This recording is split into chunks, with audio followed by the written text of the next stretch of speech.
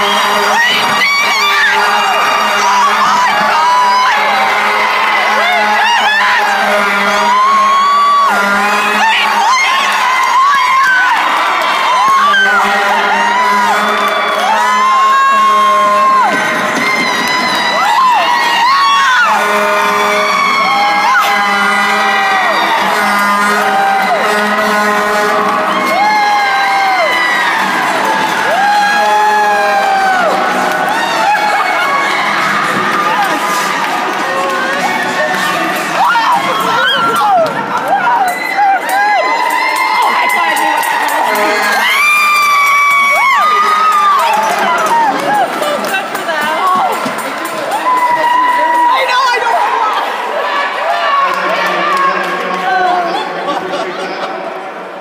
Cisco, number two, Rod Davis.